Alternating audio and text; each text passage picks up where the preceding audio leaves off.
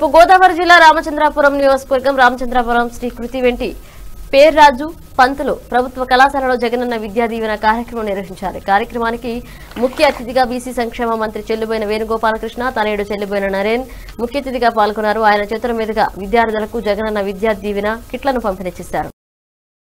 కుటుంబాలు పేదవాళ్ళు కావచ్చు సంపన్నులు కావచ్చు ఉద్యోగస్తులు కావచ్చు వ్యాపారస్తులు కావచ్చు అన్ని కుటుంబాల నుంచి కూడా పిల్లలు వచ్చి చదువుకుంటారు.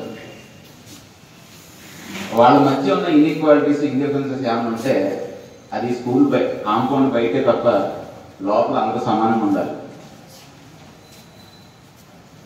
అలా ఉండటం కోసమే యూనిఫామ్ అనే సిస్టమ్ పెట్టారు. పెద్ద పెద్ద స్కూల్స్లో ఆ- కారణం చేతనే అందరూ సమానమైన ఫీలింగ్లో ఉంటారు పిల్లలందరూ కూడా.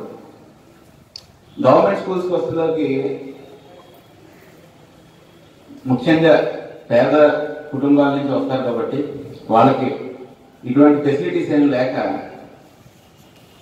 ఎక్కడో ఒక చిన్న ఇన్సెక్యూరిటీ ఆత్మన్యూనత భావం అంటారు కదా అది డెవలప్ అయ్యి గ్రాడ్యువల్గా వారికి ఇంట్రెస్ట్ తగ్గిపోయి అందుకు అందుకోవాల్సినటువంటి సక్సెస్ రేట్ని అందుకోలేకపోతున్నాం అనే ఒక కామన్ ఐడియా అందరికీ ఉంది జనాలందరిలో. Kanakadurga garu. Text books note books shoe belt రెండు చేతులు సాక్స్ మొత్తం సిక్స్ ఐటమ్స్ ఇవ్వడం జరుగుతుందండి. కాబట్టి ఇంత మహత్తరమైనటువంటి అవకాశం మన భక్తులందరూ చెప్పారు. మరి ఈ విషయాన్ని